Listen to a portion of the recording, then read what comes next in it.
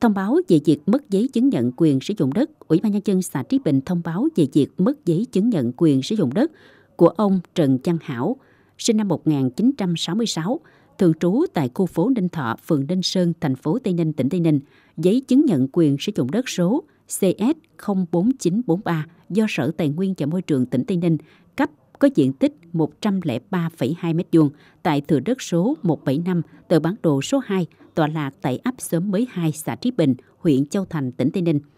Thời hạn 30 ngày kể từ ngày thông báo, nếu không có tổ chức cá nhân nào tranh chấp khiếu nại, Ủy ban nhân dân xã Trí Bình sẽ làm thủ tục đề nghị cấp có thẩm quyền hủy và cấp lại giấy chứng nhận quyền sử dụng đất cho ông Trần Văn Hảo theo quy định của pháp luật.